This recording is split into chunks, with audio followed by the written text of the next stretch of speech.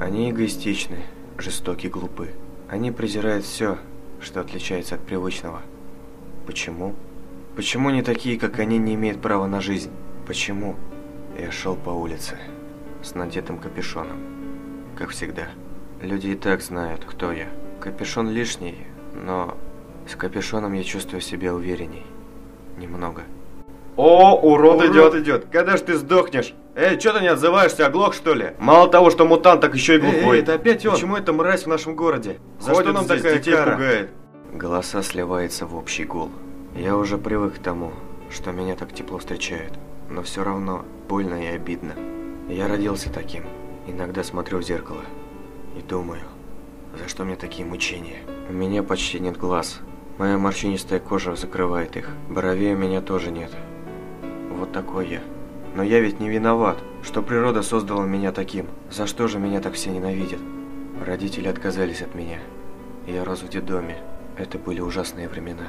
Вначале дети боялись меня, но когда поняли, что я никого не трогаю, начали издеваться надо мной.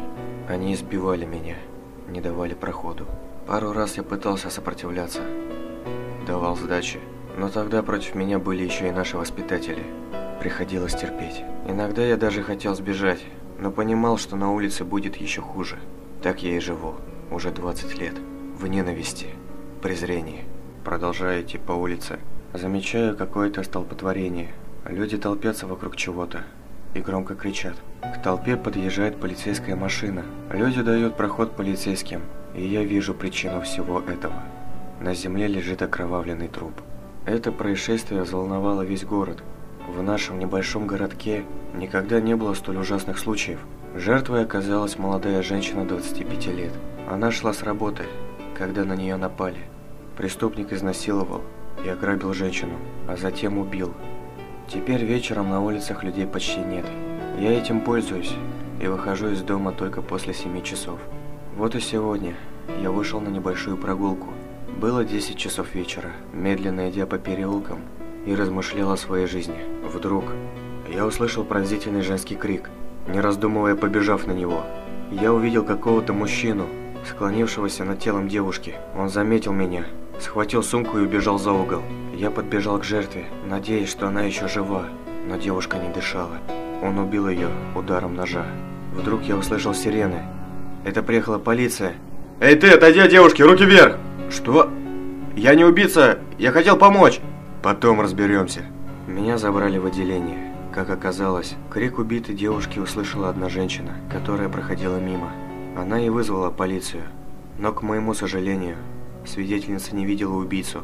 Я пытался объяснить, что хотел помочь, что тоже услышал крик и побежал на помощь, но следователь мне не верил и считал, что я мщу за все унижения. И сказал, что такому отроде, как я, место или в гробу, или в тюрьме.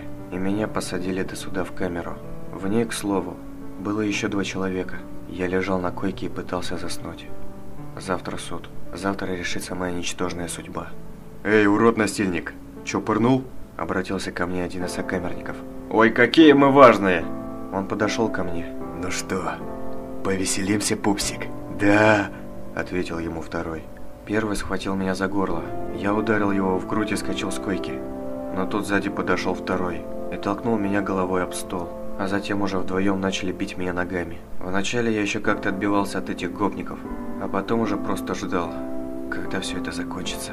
У меня были сломаны ребра и рука, полностью разбито лицо. Вдруг они перестали меня избивать.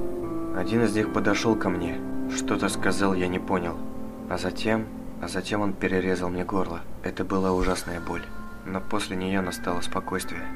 Все. Я мертв. Никто даже не пытался меня спасти. Никто. Но я рад, что эта ужасная, ничтожная жизнь закончилась. Уже никто не будет унижать, оскорблять. Уже никто не причинит боль. Никто не будет жалеть о моей смерти. Никто не будет оплакивать. Я жил ненавистно всем изгоем и умер таким.